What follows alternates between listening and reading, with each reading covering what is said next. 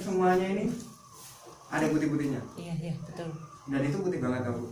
kayak ini maizena aja eh, tapioka tapioka. Jadi tapioka ini di bawahnya dia matang ya kayak lem biasa terus atasnya tetap putih. Ini kalau dipanggang. Yang coklat apa itu? apa? Ini. Ini pisang ini sorghum. Oh. terus kalau dikukus lang dikukus dia ada putih-putihnya. Tapi untuk ganyong kayak maksudnya beberapa pati kayak garut ganyong terus ini kanji dia putih-putih itu di tengah. Jadi tuh jawabannya eh. Sedangkan yang yang mokap sama beras itu cenderung lebih nyampur gitu.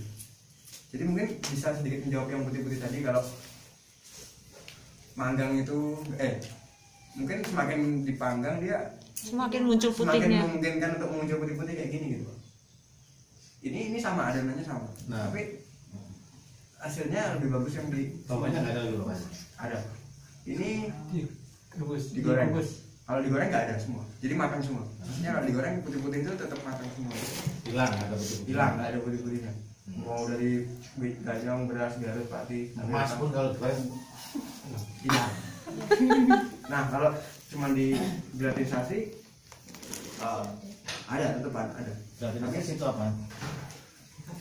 Kasih air, kasih air dipanaskan Oh ini dikasih air dan dipanaskan gitu ya jadi dikasih air dipanaskan biar kayak gitu.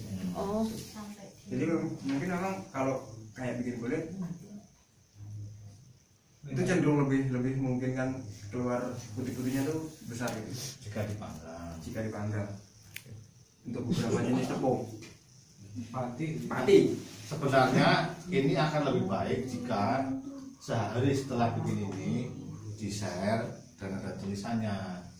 kemarin udah di share tapi nggak ada tulisannya Misalnya ada Mbak Mas Fahmi ya. iya iya Di di share di mana? di grup Nah, Fotonya Pak. Fotonya aja. fotonya